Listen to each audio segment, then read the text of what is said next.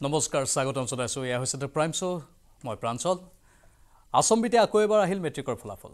আজি পুৱা হঠাৎ মেট্ৰিকৰ ফলাফল ঘোষণা কৰা হ'ল আৰু বহাগৰ বতৰত এই মেট্ৰিকৰ ফলাফল লাভ কৰি বহু বিদ্যালয়ত কিন্তু আনন্দৰ লহৰ উঠা দেখিবলৈ পোৱা গ'ল।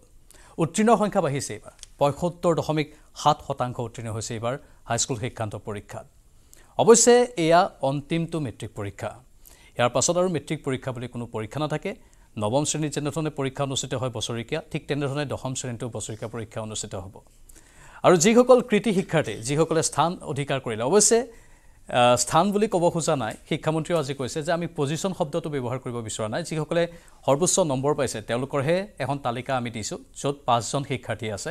সেয়েহে আমি স্থান প্ৰাপক বুলি নকওঁ সৰ্বোচ্চ নাম নম্বৰ প্ৰাপক বুলি আমি তেওঁলোকক ক'ব বিচাৰিছোঁ আৰু সেই সৰ্বোচ্চ নম্বৰ প্ৰাপকসকলো আমাৰ সৈতে লাইভত থাকিব। লগতে বহুকেইগৰাকী বিশেষ ব্যক্তি আমাৰ সৈতে লাইভত থাকিব। শিক্ষাবিদ লাইভত থাকিব শিক্ষক লাইভত থাকিব আৰু শিক্ষাৰ্থীসকলতো আছেই আৰু সেয়েহে আজি মেট্ৰিকৰ কথাই পাতিম আমি মেট্ৰিকৰ ফলাফল ঘোষণাৰ কথা আৰু বহাগৰ বতৰত আনন্দৰ লহৰ উঠিল বহুকেইখন বিদ্যালয়ত। সমান্তৰালভাৱে আমি পাতিম আগন্তুক বৰ্ষবোৰত কেনেধৰণে দশম শ্ৰেণীৰ পৰীক্ষাবোৰ অনুষ্ঠিত হ'ব তাৰো এটা আভাস দিবলৈ আমি চেষ্টা কৰিম। মই ষ্টুডিঅ'ত থকা অতিথিসকলক প্ৰথমে চিনাকি কৰাই দিব বিচাৰিছোঁ। আমাৰ সৈতে উপস্থিত আছে বহুকেইগৰাকী বিশেষ ব্যক্তি। মই উদয়া ফুকন ডাঙৰীয়ানীক স্বাগতম জনাইছোঁ। তেওঁ অসম জাতীয় বিদ্যালয়ৰ শিক্ষয়িত্ৰী হয়। আৰু লগতে আছে স্বপ্নৰাণী দাস বাইদেউ আমাৰ সৈতে। তেওঁ আৰ্য বিদ্যাপীঠ স্কুলৰ অৱসৰপ্ৰাপ্ত শিক্ষয়িত্ৰী হয়। আৰু শিক্ষাবিদ দয়ানন্দ পাঠক ডাঙৰীয়া আমাৰ সৈতে আছে। স্বাগতম জনাইছোঁ। আৰু প্ৰদ্যুম্ন গোস্বামী ডাঙৰীয়াও আমাৰ সৈতে লাইভত আছে বৰ্তমান। তেওঁ এজন বিশ্লেষক হিচাপে পৰিচিত আৰু শিক্ষা ক্ষেত্ৰৰ বহুখিনি কাম তেওঁ কৰি থাকে। আৰু আন এজন শিক্ষাবিদ ডক্টৰ কমল গগৈ ডাঙৰীয়া আমাৰ সৈতে লাইভত আছে। আৰু শিক্ষাৰ্থীসকলতো থাকিব আমি তেওঁলোকৰ কাষলৈও যাম। বিভিন্ন প্ৰান্তৰ পৰা আমাৰ শিক্ষাৰ্থীসকল যিসকলে এইবাৰ সৰ্বোচ্চ নম্বৰ পাবলৈ সক্ষম হৈছে তেওঁলোক আমাৰ সৈতে লাইভত থাকিব। সেয়া লাগিলে অনুৰাগ দলৰ কথাই কওঁ অথবা ঝৰ্ণা শইকীয়াৰ কথাই কওঁ মানস প্ৰতিম শইকীয়াৰ কথাই কওঁ বেদান্ত চৌধুৰীৰ কথাই কওঁ বা দেৱশ্ৰী কাশ্যপৰ কথাই কওঁ তেওঁলোক আমাৰ সৈতে কিছু সময়ৰ পাছতে লাইভত আহিব। মন কৰিবলগীয়া বিষয়টো হৈছে যে এইবাৰ এই শিক্ষাৰ্থীকেইজন যিকেইজনে সৰ্বোচ্চ নম্বৰ পাইছে তেওঁলোক কিছু পৰিমাণে ব্যতিক্ৰম। তেওঁলোকৰ কথাবোৰো ব্যতিক্ৰম তেওঁলোকৰ কামবোৰো কিছু কিছু পৰিমাণে ব্যতিক্ৰম। বিশেষকৈ অনুৰাগ হয় দলৈৰ যদি কথা কওঁ তেনেহ'লে তেওঁ নিজৰ ফেচবুক একাউণ্ট নাই কিন্তু তেওঁৰ ইচ্ছা ছফ্টৱেৰ ইঞ্জিনিয়াৰ হোৱাৰ। আনকি তেওঁ কোনো টিউচনো ঘৰুৱা শিক্ষকৰো সহায় লোৱা নাছিল। তেওঁ ইউটিউব বা গুগলৰ পৰা বহুখিনি শিকিছিল। মানে ইণ্টাৰনেটৰ উচিত ব্যৱহাৰ কেনেধৰণে কৰে তাৰে এটা উদাহৰণ অনুৰাগ দলৈ। আৰু লগতে আন ঝৰ্ণা শইকীয়া বা আন শিক্ষাৰ্থীসকলতো আছে তেওঁলোকৰ মনোভাৱ আমি ল'ম।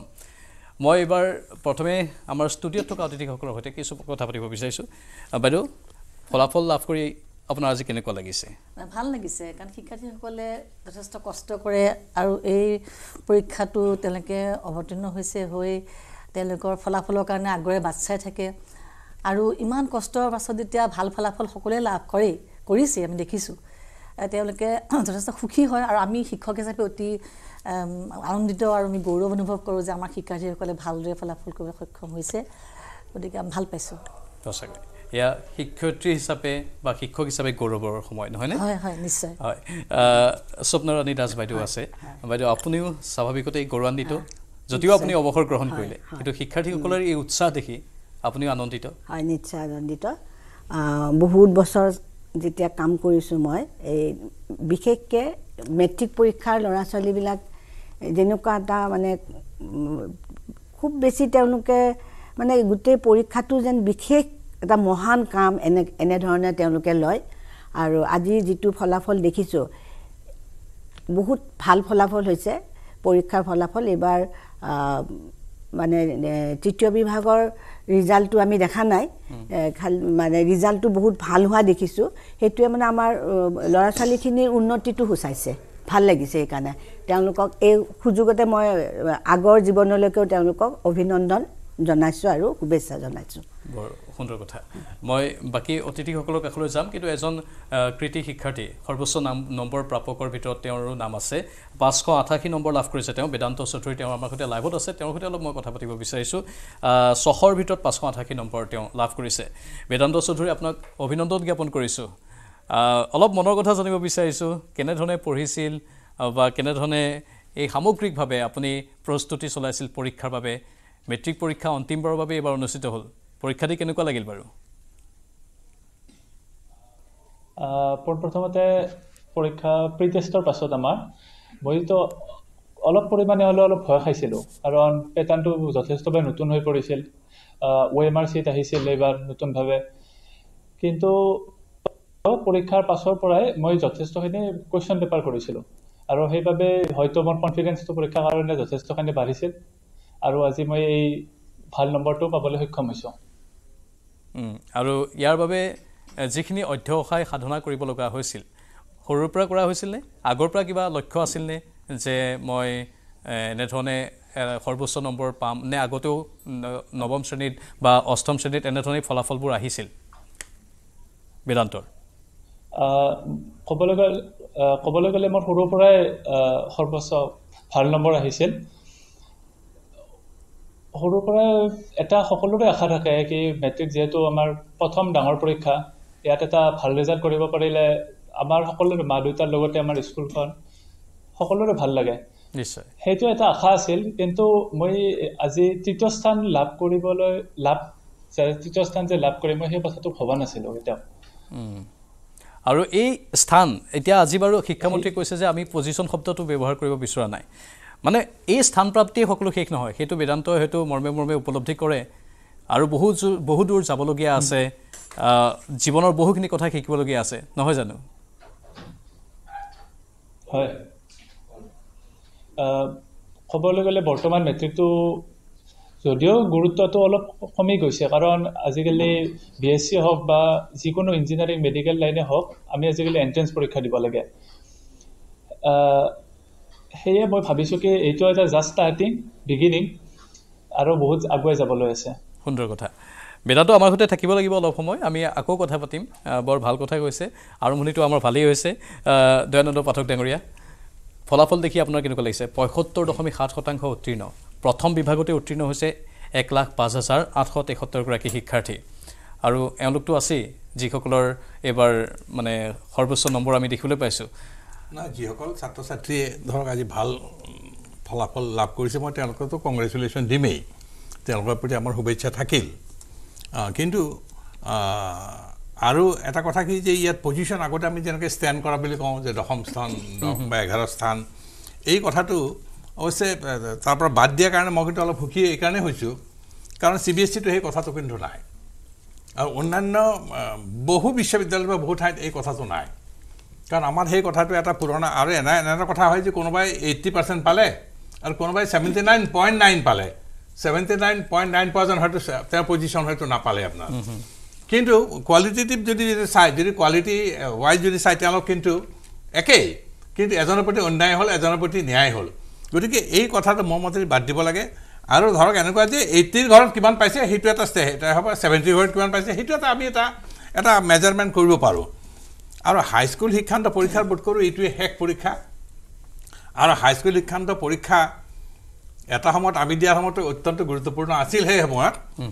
কিন্তু এই পৰীক্ষাটোক লৈ পেলাই আমাৰ কিন্তু অলপ আলোচনাও কৰিবলগা আছে। এইকাৰণে আলোচনা আছে যে এই পৰীক্ষাটো যেতিয়া আৰম্ভ হয় তেতিয়া হয়তো ইংৰাজী পেপাৰ ওলাই গৈছে মেথমেটিক্সৰ মেথমেটিক্সখন পেপাৰখন লৈ পেলাই বহুত বিতৰ্ক এটা হৈছে যে তাত তেওঁলোকে যি প্ৰশ্ন দিছে সেই প্ৰশ্নবিলাক কিন্তু তাত অহা নাই বুলি কৈছে। আৰু যিটো আপোনাৰ মেজৰ লেভেলৰ বা অন্য এটা বিষয়ৰ স্পেচিয়েল পেপাৰখনো তাত তাত দি দিছে। গতিকে তাত আকৌ আমাৰ শিক্ষামন্ত্ৰীগৰাকীয়ে কৈছে যে নহয় তেওঁলোকৰ নম্বৰ কোনোবা যদি প্ৰশ্ন কাকত তাৰ উত্তৰো দিয়া নাই আমি নম্বৰটো তেওঁলোকক দি দিম। গতিকে এনে সেই কথাটো আস্পেক্টটো কিন্তু আমি ইগন'ৰ কৰিব নোৱাৰোঁ। নিশ্চয়। কাৰণ আজি ছেভেণ্টি ফাইভ পাৰ্চেণ্ট পাইছে। হয়। হয়তো তাতকৈ হয়তো যদি ঠিক সঠিকভাৱে পৰীক্ষা প্ৰশ্নখন আহিলেহেঁতেন হয়তো ছিক্সটি ছেভেণ্টি ফাইভ নাহিলেহেঁতেন বা আহিবও পাৰে সেইটো কথা মই নকওঁ। কিন্তু আমি অহাটোৱে বিচাৰোঁ। গতিকে এই পৰীক্ষাটো আৰু ইতিমধ্যে শিক্ষামন্ত্ৰী মহোদয় আৰু এটা কথা ক'লে যে ফৰ্টি ফাইভ ডেজৰ ভিতৰত দিছোঁ। ফৰ্টি ফাইভ ডেজৰ ভিতৰত এইটো এটা মই ভাবোঁ এইটো যে গুড জেষ্টাৰ যে আমি সোনকালেই দিব লাগে ছাত্ৰখিনিক আপোনাৰ তেওঁলোকৰ সময়ৰ এটা মূল্য এটা আছে। সেইটোৱে। আৰু সেই- সেইখিনি কথা বৰ গুৰুত্বপূৰ্ণ কথা। আৰু শিক্ষামন্ত্ৰী এই পঞ্চল্লিছ দিনৰ ভিতৰত দিয়া কথাটো তেওঁ বাৰে বাৰে কৈ আছে। কৈ আছে। আমি সেইখিনি কথা অলপ আলোচনা কৰিম। কিন্তু আন এগৰাকী স্থা মানে সৰ্বোচ্চ নম্বৰ প্ৰাপকৰ তালিকাত থকা ঝৰ্ণা শইকীয়া বিশ্বনাথৰ পৰা আমাৰ সৈতে লাইভত আছে। তেওঁ পাঁচশ নব্বৈ নম্বৰ লাভ কৰিছে ছশ নম্বৰৰ ভিতৰত। ঝৰ্ণাক স্বাগতম জনাইছোঁ আৰু অভিনন্দনো জ্ঞাপন কৰিছোঁ। ঝৰ্ণাই প্ৰথমে গমেই পোৱা নাছিল। টিভিৰ বাতৰি টিভিৰ বাতৰিত ওলোৱা খবৰে হয়তো কিছু পৰিমাণে স্তম্ভিতও কৰিছিল প্ৰথমে। নহয় জানো ঝৰ্ণা? হয় হয়। মানে টিভি চাই থাকোঁতে গম পালে নেকি যে মই সৰ্বোচ্চ নম্বৰৰ তালিকাত আছোঁ ইমান ভাল ফলাফল কৰিছোঁ বুলি? হয় মই প্ৰথমতে মই ভাবিছিলোঁ মই টপ টেনত থাকিম বুলি কিন্তু মই টপ ফাইভত থাকিম বুলি ভবা নাছিলোঁ। কিন্তু মায়ে যেতিয়া ক'লে নিউজত চাই যে টপ ফাইভে থাকিব টপ টেন নাথাকে তেতিয়া মই ভাবিছিলোঁ মই নাপামেই চাগে একো। কিন্তু যেতিয়া মায়ে টিভি চাইছে টপ ফাইভৰ নামখিনি লৈছে তেতিয়া মোৰ নামটো মায়ে চাই পেলাই কৈছে যেন তই ছেকেণ্ড হ'লি তেতিয়াহে মই গম পাইছোঁ। আৰু দেউতা ক'ত আছিল? আচম্বিতে এই মেট্ৰিকৰ ফলাফলটো অহাৰ সময়ত দেউতা হেনো লখিমপুৰত আছিল আৰু গাড়ীত উঠিবলৈ গাড়ীত উঠাৰ সময়তে তেওঁ খবৰটো পালে বোলে। হয় নেকি? হয় তেওঁ ঘৰত নাছিল তেওঁ কালি বিয়া খাবলৈ গৈছিলে মানে। আৰু সেইকাৰণে তেওঁ ৰাতিপুৱা মই ফোন কৰোঁতেহে গম পাইছে। হয় বৰ ভাল লাগিছে ফলাফল লাভ কৰি। এতিয়া ঝৰ্ণাৰ চিকিৎসক হোৱাৰ সপোন আছে। আমি আমি গম পাইছোঁ ইতিমধ্যে। কেনেধৰণে। সেই পৰৱৰ্তী প্ৰস্তুতিবোৰ কেনেধৰণে। চলিব? মই ভাল চিকিৎসক হ'বলৈ পঢ়ি যাম ভালদৰে পঢ়া শুনা কৰি যাম যাতে সকলোকে মই ফ্ৰী ট্ৰিটমেণ্ট কৰিব পাৰোঁ। বৰ ডাঙৰ সপোন ঝৰ্ণাৰ। বিনামূলীয়া চিকিৎসা কৰাৰ মন নেকি সকলোকে? হয়। সেইটো জানো সম্ভৱ হ'ব বৰ্তমান সময়ত? বিনামূলীয়া চিকিৎসা? মই সম্ভৱ কৰিবলৈ চাম যিমানখিনি পাৰোঁ মই। বৰ ডাঙৰ সপোন এটা ঝৰ্ণাই মনত পুহি ৰাখিছে। সেইটো বৰ প্ৰশংসাৰ পাত্ৰ তেওঁ কাৰণ ইমান এটা ভাল সপোন তেওঁ মনত পুহি ৰাখিছে। এতিয়া ঝৰ্ণা পঢ়া শুনা কেনেধৰণে চলিছিল বাৰু? অলপ আমি বৰ বেছি বহলভাৱে জানিব নিবিচাৰোঁ কাৰণ আমি গম পাইছোঁ ঘৰত বহু মানুহ আহি আছে। থুলমূলকৈ পঢ়া শুনাবোৰ কেনেধৰণে চলিছিল আগৰ পৰাই সপোন কেনেধৰণৰ আছিল অলপ যদি কোৱা হয় আমাৰ দৰ্শকসকলৰ বাবে। হয় মই সৰুৰ পৰাই ভালকেই পঢ়োঁ বাৰু। পঢ়া শুনা মই বেলেগ ইমান ৰাপ নাছিল বেলেগ বস্তুত মই পঢ়া শুনাতেই বেছিকৈ ধ্যান দিছিলোঁ আৰু মানে যেতিয়া মই কৰোণা সময়ত পৰিস্থিতিবোৰ চালোঁ যে মানুহে বেমাৰত ভুগিছে যদিও চিকিৎসা কৰিব পৰা নাই ভালদৰে তেওঁলোকৰ অৰ্থ অভাৱ হৈছে তেতিয়া মই ভাবিছিলোঁ যে মই ডক্তৰ হ'ম আৰু মই ফ্ৰী ট্ৰিটমেণ্ট কৰিম। তেতিয়া পৰাই যেতিয়া মই লক্ষ্য এটা ল'লোঁ স্থিৰ কৰি আহ, তেতিয়া পৰাই মই ভালদৰে পঢ়িবলৈ ল'লোঁ যেন ভাল ৰিজাল্ট এটা কৰিব লাগিব যাতে মই ডক ভাল ডক্তৰ হৈ পেলাই সকলোৰে চিকিৎসা কৰিব পাৰোঁ। মই প্ৰশংসা কৰি কৰি মানে ভাগৰি নপৰিম চাগে ইমান তেওঁ ভাল এটা সপোন দেখিছে। এতিয়া দহ বছৰ মূৰত শংকৰদেৱ বিশ্বনাথৰ শংকৰদেৱ শিশু শিশু বিদ্যা নিকেতনে এই গৌৰৱ কঢ়িয়াই আছে ঝৰ্ণাৰ জৰিয়তে। আজি আমি দেখিছিলোঁ বিদ্যালয়ৰ যিসকল শিক্ষাৰ্থী আছে সহপাঠী যিসকল আছে লগতে কনিষ্ঠ যিসকল শিক্ষাৰ্থী আছে আৰু শিক্ষক শিক্ষয়িত্ৰীসকল সকলো প্ৰশংসাত পঞ্চমুখ হৈ আছিল ঝৰ্ণাৰ। আজি পৰিৱেশটোৱেই সুকীয়া আছিল বিদ্যালয়খনত। নহয় জানো? হয়। হয় হয়। সেই সময়ত সেই সময়ত কেনেকুৱা লাগিছিল ঝৰ্ণা? আজি দিনৰ ভাগত ফলাফলটো বাৰু টিভিৰ জৰিয়তে পোৱা হ'ল। তাৰ পাছৰ পৰিৱেশটো এতিয়া মানুহ আহি আছে ঘৰলৈ এতিয়াৰ পৰিৱেশটো কিবা বেলেগ বেলেগ লাগিছে নে একেই আছে পৰিৱেশটো? নাই মোৰ বিশ্বাস হোৱা নাই যে মই ইমানখিনি কৰিব পাৰিলোঁ। মোৰ এতিয়াও সপোন সপোন যেনেই লাগি আছে। নিশ্চয়। ঝৰ্ণা আমাৰ সৈতে থাকক অলপ সময়। আমাৰ সৈতে অলপ সময় থাকিব লাগিব। বৰ কথাখিনি বৰ সুন্দৰভাৱে তেওঁ কৈ আছে। আৰু আমি নথৈ আনন্দিত। এনেধৰণৰ এক সপোন লৈ যে তেওঁলোক আগবাঢ়িছে। পঢ়া শুনাৰ কেৱল মাত্ৰ শিক্ষা আহৰণ কৰিম শিক্ষা আহৰণ কৰি আমি কেৱল টকা উপাৰ্জন কৰিম বা নিজৰ কেৰিয়াৰটো গঢ় দিম তেনেকুৱা নহয়। ঝৰ্ণা এটা উদাহৰণ আপোনালোকে শুনিলে তেওঁ ক'লে বিনামূলীয়া চিকিৎসা দিয়াৰ কথা কৈছে। ইয়াতকৈ গৌৰৱৰ কথা আমাৰ বাবে কি হ'ব পাৰে? এয়াই হৈছে প্ৰকৃত শিক্ষা। তেওঁ যি শিক্ষা পাইছে পিতৃ মাতৃৰ পৰা বা তেওঁৰ পৰিৱেশৰ পৰা বা তেওঁ বিদ্যালয়ৰ পৰা সেইখিনি শিক্ষা সেই শিক্ষাখিনিয়ে তেওঁক গঢ়িছে। মই পুনৰবাৰ বেদান্ত চৌধুৰীৰ কাষলৈ যাব বিচাৰিছোঁ। বেদান্ত চৌধুৰী আম- ঝৰ্ণাৰ কিছু কথা শুনিলোঁ। এতিয়া বেদান্ত চৌধুৰীৰ কেনেধৰণৰ এটা ইচ্ছা আছে ভৱিষ্যতে আমাৰ পৃথিৱীখন সুন্দৰ কৰাৰ বাবে?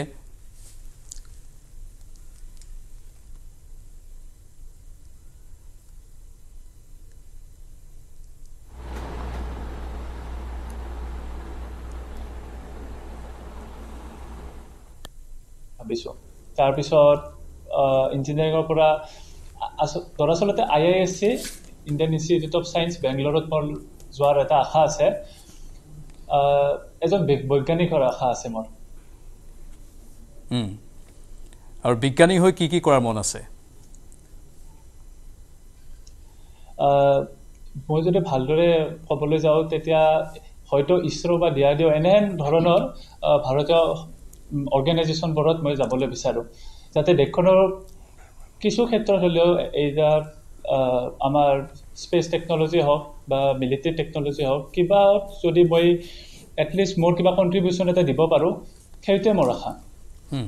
এতিয়াতো আমাৰ ইছৰোৱে বহুখিনি উন্নতি কৰিছে। চন্দ্ৰযানৰ সেই গোটেইখিনি কথা হয়তো বেদান্তই ভালদৰে গোটেইখিনি খবৰ পাইছিলেই। এয়া হ'ল আমাৰ ভাৰতবৰ্ষৰ বাবে এটা গৌৰৱৰ ক্ষণ। ইছৰোৱে আগন্তুক দিনত আৰু বহুখিনি কাম কৰিব। মানে বেদান্তৰ ভাৰতত থাকি নিজৰ মাতৃভূমিতে থাকি কাম কৰাৰ মন নহয় জানো?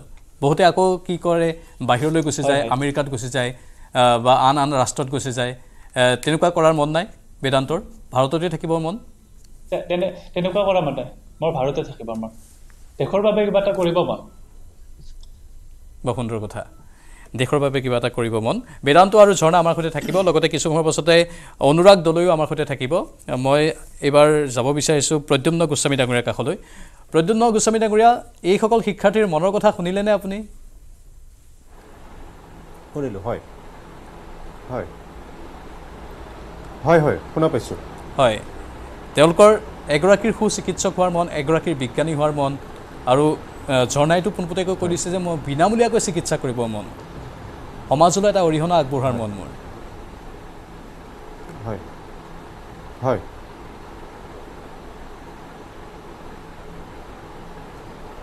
হয় শুনি আছোঁ। হয়। আপুনি কি ক'ব? তেওঁলোকৰ এই সপোনটোক লৈ তেওঁ আপোনাৰ আপোনাৰ কি মতামত? প্ৰথমেই হ'ল এইবাৰ হাইস্কুল শিক্ষান্ত পৰীক্ষাত উত্তীৰ্ণ যিসকল ছাত্ৰ ছাত্ৰী হৈছে তেখেতলোকে কৃতিত্বতাৰে উত্তীৰ্ণ হৈছে। প্ৰত্যেককে মই আন্তৰিক অভিনন্দন জনাইছোঁ তেখেতলোকৰ পিতৃ মাতৃক অভিভাৱকক আৰু সেই বিদ্যালয়ৰ শিক্ষকসকলক মই আন্তৰিক অভিনন্দন জনাইছোঁ। চ' এই কথাখিনি কোৱাৰ আগতে প্ৰথমে মই বেলেগ দুটামান কথাহে এই প্ৰসংগত এইবাৰ বিশেষকৈ ৰিজাল্টটোৰ প্ৰসংগত কৈ ল'ব বিচাৰিছোঁ।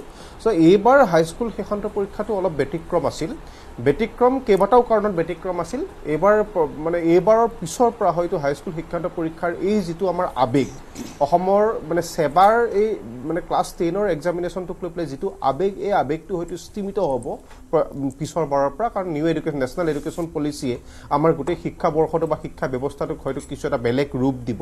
গতিকে আমি এনেকুৱা এটা আৱেগ অহা বৰ্ষৰ পৰা হয়তো দেখিবলৈ নাপাম। কিন্তু দেখিবলৈ নাপালেও কিন্তু হাইস্কুল শিক্ষান্ত পৰীক্ষাৰ যি আপোনাৰ প্ৰয়োজনীয়তা হাইস্কুল শিক্ষান্ত পৰীক্ষাৰ এই প্ৰয়োজনীয়তা আৰু তাৰ যিটো আপোনাৰ এই যোগ্যতাৰ মাপকাঠিটোক কেতিয়াও আমি নুই কৰিব নোৱাৰিম। খুব সুন্দৰভাৱেই চলি থাকিব।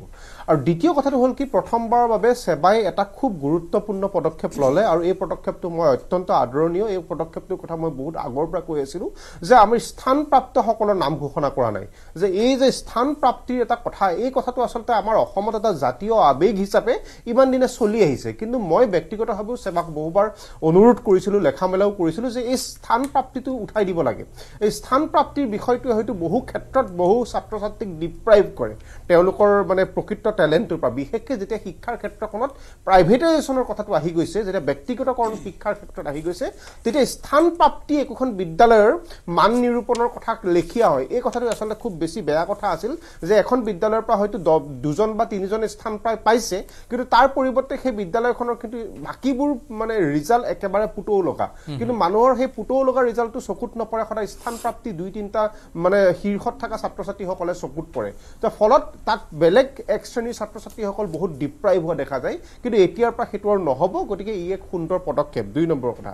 তিনি নম্বৰ কথাটো হ'ল কি এইবাৰ হাইস্কুল শিক্ষান্ত পৰীক্ষাৰ যিটো ফলাফল ঘোষণা হ'ল ঘোষণা হওঁতে এটা খুব মানে হুলস্থুলৰ পৰিৱেশৰ সৃষ্টি হৈছিল যে অংকৰ পৰীক্ষাখন যিখন গণিতৰ মানে আপোনাৰ প্ৰশ্ন কাকত হৈছিল সেই গণিতৰ প্ৰশ্ন কাকতখনে সমগ্ৰ অসমতে ঘৈ চৈ সৃষ্টি কৰিছিল বিভিন্ন আপোনাৰ মানে চৰ্চাৰ সৃষ্টি কৰিছিল।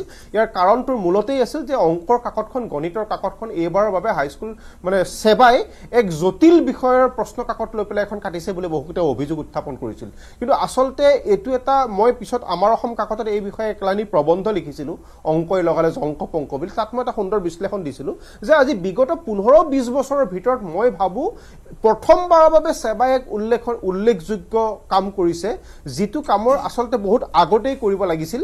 আৰু এই ক্ষেত্ৰত ছেবাই বহুত ট্ৰেইনিঙৰ ব্যৱস্থা কৰিছিল কিন্তু আমাৰ ডিষ্ট্ৰিক্ট একাডেমিক কাউন্সিল বা ডিষ্ট্ৰিক্ট যিটো এডুকেশ্যন ছিষ্টেম থাকে তেখেতলোকে বস্তুটোৰ ওপৰত খুব বেছি আপোনাৰ খুব এফেক্টিভলি কাম নকৰাৰ কাৰণে হয়তো শিক্ষকসকল বা ছাত্ৰ ছাত্ৰীসকলে সেই বিষয়ে গম নাপালে। কিন্তু অহা বৰ্ষৰ পৰা ছেবাই কৈছে যে এই কামটো তেখেতলোকে সুচাৰুৰূপে কৰিব কিন্তু অহা বৰ্ষৰ পৰা কুৱেশ্যন পেপাৰ কুৱেশ্যন পেপাৰ গোটেই যিটো আমাৰ কনচেপচুৱেলাইজ কুৱেশ্যন পেপাৰ ছিষ্টেমটো ছেবাত আহি যাব। কাৰণ অহা বৰ্ষৰ পৰা ছেবাৰ অস্তিত্বও নাথাকিব প্ৰদ্যুম্ন গোস্বামী ডাঙৰীয়া। নহয় নহয়। নাথাকে। অস্তিত্ব নাথাকে কিন্তু দশম শ্ৰেণীৰ পৰীক্ষা এটা হ'বই। হ'ব, হ'ব। দশম শ্ৰেণীৰ পৰীক্ষা এটাও হ'ব দশম দ্বাদশ শ্ৰেণীৰ পৰীক্ষা এটাও হ'ব আৰু ছেবা আৰু হায়াৰ ছেকেণ্ডেৰী এডুকেশ্যন কাউন্সিল একলগ হৈ তেনেকুৱা এটা ব্যৱস্থা কৰিব বুলি অলপ কিছুদিনৰ আগতে ছেবাৰ চেয়াৰমেনে কথাটো জানিবলৈ দিছিল যে তেখেতলোকে এই গোটেই কুৱেশ্যন পেপাৰ পেটাৰ্ণটো চেঞ্জ কৰাৰ তেখেতলোকৰ মূল উদ্দেশ্য আছিল এইটোৱেই যে ছাত্ৰ ছাত্ৰীসকলক কনচেপচুৱেলাইজ কুৱেশ্যন জ্ঞানৰ ওপৰত বেছ নম্বৰতকৈ জ্ঞানৰ ওপৰত অধিক গুৰুত্ব প্ৰদান কৰিছে। এইটো এটা খুব ভাল কথা। এই কথাটো আগলৈ খুব ক্ষিপ্ৰতাৰে কৰিব লাগে। তিনি নম্বৰ কথা। কিন্তু আজি এটা কথাই মই অকণমান ক্ষোভিত হ'লোঁ। আগতেও ছেভাক তেওঁলোকৰ বিভিন্ন কাৰ্যকলাপৰ বাবে বিভিন্ন সময়ত বিভিন্ন তীক্ষ্ণ ভাষাৰে সমালোচনা কৰিছোঁ। কিন্তু এইবাৰ ছেবাৰ এইকেইটা পদক্ষেপক কিন্তু মই আচলতে প্ৰশংসা কৰিছোঁ। মই ব্যক্তিগত যদিও সমালোচিত হৈছে ছেবা মই কিন্তু প্ৰশংসা কৰিছোঁ কাৰণ ইয়াত মই বহুখিনি ইতিবাচক দিশ মোৰ দৃষ্টিত দেখা পাইছোঁ। কিন্তু আজি মোৰ এটা কথাই অকণমান ক্ষোভিত কৰিলে যে আজি অন্ততঃ ৰিজাল্টটো ছেবাই ইলেকশ্যনৰ পিছৰ দিনটোতে ডিক্লেয়াৰ কৰিব নালাগিছিল। কাৰণ ইলেকশ্যনৰ পিছৰ দিনটোতে ডিক্লেয়াৰ কৰাৰ এটাই কুফল হৈছে কি বহুত শিক্ষক আজি বিভিন্ন সময়ত ইলেকশ্যন ডিউটি কৰি তেখেতলোক ঘৰে আহি পোৱা নাছিল। বা ঘৰ ৰাতি হয়তো তিনিটা চাৰিটা পাঁচটা বজাত ঘৰ আহি পাইছিলহি য'ত বিদ্যালয়সমূহ শিক্ষক নাছিলেই। আৰু মানে উজনি অসমৰ বিদ্যালয়সমূহত। তেনেকুৱা এটা সময়ত আজি ৰিজাল্টটো দি দিয়াৰ লগে লগে অন্ততঃ এদিন এটা গেপ দিব লাগিছিল যে ইলেকশ্যনৰ মানে কালি ইলেকশ্যন হৈ গৈছে আজি দিনটো গেপ দি কাইলৈ বা পৰহিলৈ বা সোমবাৰে ৰিজাল্টটো ডিক্লেয়াৰ কৰাহেঁতেন মই বেছি ভাল পালোহেঁতেন। এতিয়া ছাত্ৰ ছাত্ৰীসকলৰ প্ৰসংগটোলৈ আহিছোঁ। ছাত্ৰ ছাত্ৰীসকলৰ এই ক্ষেত্ৰত অত্যন্ত ইতিবাচক কথা কিন্তু ছাত্ৰ ছাত্ৰীসকলক এইটোৱে এটা অনুৰোধ কৰিম যে এই হাইস্কুল শিক্ষান্ত পৰীক্ষাটো দশম শ্ৰেণীৰ এটা প্ৰথম ফাইনেল পৰীক্ষা। এই প্ৰথম ফাইনেল পৰীক্ষাটোৱে জীৱনৰ শিক্ষাৰ যিটো ফাউণ্ডেশ্যন গঠিত কৰিব। ই আটাইতকৈ বেছি গুৰুত্বপূৰ্ণ আৰু এই ফাউণ্ডেশ্যনটোতকৈ কিন্তু তোমালোকৰ কাৰণে নম্বৰতকৈ জ্ঞানৰ মূল্য অধিক। গতিকে মই তোমালোকক ভৱিষ্যত জীৱনত তোমালোক যি হ'ব বিচাৰিছা তাৰ কাৰণে তোমালোকক আন্তৰিকতাৰে শুভেচ্ছা জ্ঞাপন কৰিছোঁ। কিন্তু লগতে এই কথাটোও কৈছোঁ এই কথাটো পাহৰি নাযাবা তোমালোকে। নম্বৰতকৈ জ্ঞানৰ ওপৰত যদি তোমালোকে অধিক গুৰুত্ব নিদিয়া ভৱিষ্যত জীৱনত কিন্তু তোমালোক কোনোবা এটা সময়ত বিফল হৈ যোৱাৰ সম্ভাৱনা পূৰ্ণ সম্ভাৱনা থাকে। আৰু এইটো- মন কৰিবলগীয়া বিন্দু সকলো সকলোৰে বাবে। নম্বৰতকৈ জ্ঞানৰ গুৰুত্ব অধিক বা মূল্য প্ৰাঞ্জল অধিক। মই এইখিনিতে এটা কথা কওঁ। হয়। প্ৰাঞ্জল মই এটা কথা কৈ লওঁ এটা কথা কৈ লওঁ তাৰমানে উচ্চতৰ মাধ্যমিকৰ চিলেবাছটো কিন্তু বহুত বেলেগ। তাৰমানে হাইস্কুল শিক্ষান্ত পৰীক্ষাত আমি যেতিয়া দশম মানত এখন মানে সাধাৰণ বিজ্ঞানৰ পাঠ্যপুথিতে সকলো বস্তু থাকে। কিন্তু যেতিয়া হায়াৰ ছেকেণ্ডেৰীত গুচি যাম ফিজিক্সৰ বেলেগ ছাবজেক্ট কেমেষ্ট্ৰি বেলেগ ছাবজেক্ট বটানী বেলেগ জুলজি বেলেগ সকলোখিনি বেলেগ। গতিকে আমি ভাবি থকা বিজ্ঞানখন হায়াৰ ছেকেণ্ডেৰীত গৈ পেলাই কিন্তু বহুত বেলেগ হৈ যায়। এক বহুত জটিল প্ৰক্ৰিয়াৰ মাজলৈ সোমাই যোৱা যায়। গতিকে হাই সেই ছাত্ৰ ছাত্ৰীসকলক মই অনুৰোধ কৰিম যে যেতিয়া সেই এটা বৃহৎ মানে এখন মানে সাধাৰণ এটা পুখুৰীৰ পৰা এখন মহাসাগৰৰ ভিতৰত সোমাই যোৱাৰ নিচিনা এটা পৰিৱেশ হয়। মানে হায়াৰ এডুকেশ্যনটো বা হায়াৰ ছেকেণ্ডেৰীৰ পিছৰ পৰা। গতিকে তেখেতলোকে যাতে গোটেই কনচেপশ্যনটোৰ ওপৰত খুব গুৰুত্ব দিয়ে।